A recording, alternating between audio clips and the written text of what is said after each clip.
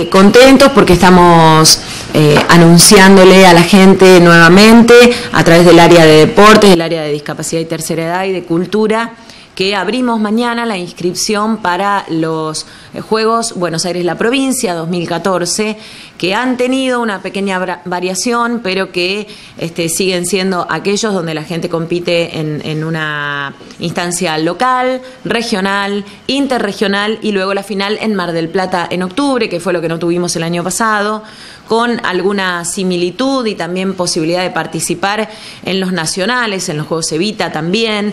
Así que con categorías similares en el área de cultura a las que ya están acostumbrados, tanto en estáticas como en lo que es danza y canto, estaremos abriendo la inscripción en las distintas oficinas a partir de mañana y los instamos a que eh, si quieren se entusiasmen porque es una, es una buena posibilidad de entablar amistad, decimos nosotros siempre, con otra gente, de probarse uno y de tener la posibilidad de llegar a la final.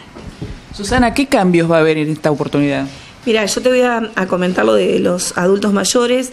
Tenemos eh, lo, mismo en realidad que los juveniles y que cultura, eh, pero en realidad eh, algunos van a poder llegar a la final provincial y solamente los que no van a poder pasar a la final de Evita, que son las nacionales, son los juegos tradicionales de mesa como chinchón, escoba de 15 y truco. El resto como sapo, tejo, tenis de mesa, volei adaptado y ajedrez, sí van a tener las dos oportunidades. La final provincial y si ganarían que sería medalla de oro, la final nacional.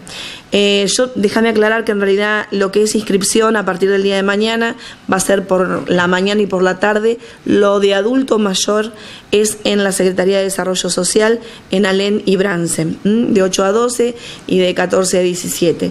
Eh, en realidad lo que les, pedimos es que se acerquen y consulten, eh, son categorías únicas, pero que consulten la reglamentación, que a veces puede haber una pequeña variación y uno se queda con la reglamentación del año pasado.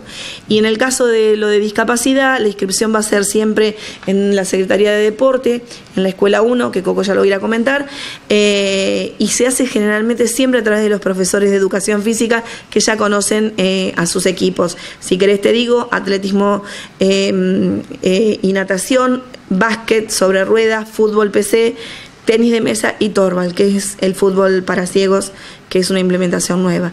Así que, bueno, eh, le decimos a todos que participen, que es una linda oportunidad, que todos los años se espera esta oportunidad y este año con mejor énfasis, pues tenemos las finales eh, provinciales y nacionales, así que hay mucho más entusiasmo. Bueno, Juan Coco hablando, eh, para el deporte específicamente, ¿qué tiene para decirnos respecto a este torneo? Primero y principal, que estamos muy contentos que se vuelvan a hacer, a reeditar estos juegos como se venía haciendo anteriormente con las finales del Mar de Plata, cosa que era una motivación importante para, tanto para la gente de cultura, los abuelos y sobre todo los juveniles. Así que, sobre todas las cosas, invitamos a que lo antes posible, porque la inscripción es hasta, hasta el fin de mes, que se pongan en contacto con nosotros en la Secretaría de Deporte, en el primer piso de la escuela, acá de la Escuela 1. Y bueno, disciplinas como de estos años anteriores son prácticamente las mismas, se ha agregado el fútbol 11 que el año pasado no hubo. Y sobre todas las cosas, ya te digo, con el deporte como motivo de, inclusión y de participación, eh, nos pone muy contentos que estemos anunciando esto y bueno, estamos a disposición de todos aquellos que quieran participar, que quieran inscribirse, estamos atendiendo, como ya te decía, en el primer piso de la Escuela 1. El año pasado eh, hubo menor cantidad de gente que pudo llegar a Mar del Plata. Ahora, ¿qué va a pasar este año?